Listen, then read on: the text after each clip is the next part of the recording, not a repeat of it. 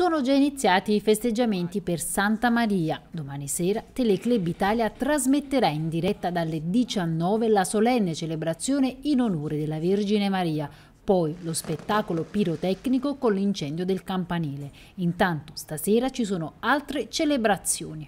Don Vincenzo, si rinnovano anche quest'anno i festeggiamenti in onore di Santa Maria, si avvicina quello che è poi il giorno fulcro fondamentale dedicato appunto alla Madonna. Quali sono gli appuntamenti previsti per questi giorni? Alle 20.30 ci sarà la veglia dei giovani con la San Pio X. Li abbiamo radunati proprio per un ritorno di quello che eh, hanno fatto eh, seguendo il cammino, il pellegrinaggio della, dei giovani con l'incontro del Santo Padre. E noi ci mettiamo sotto lo sguardo di Maria proprio per continuare questo cammino, questo pellegrinaggio e questo prepararsi al sinodo dei giovani.